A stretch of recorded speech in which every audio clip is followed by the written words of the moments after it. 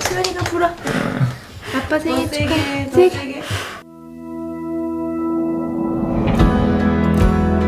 처음에 안 믿었죠. 웬, 웬 암? 저까지 아닐 수가 있겠습니까? 지금 애 태어난 지 한 달도 안 됐는데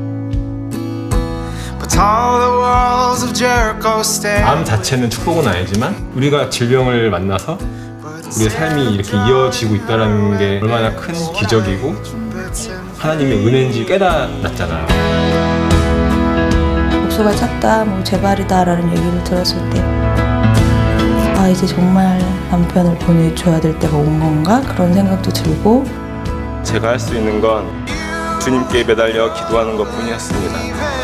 주님, 제가 너무 아픕니다.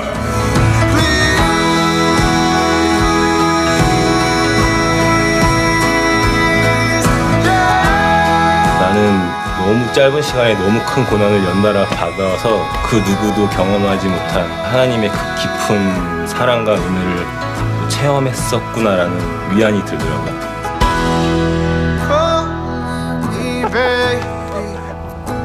쫄지. You 저의 간증들이 영원하신 주님의 사랑으로 기억되기를 간절히 바랍니다.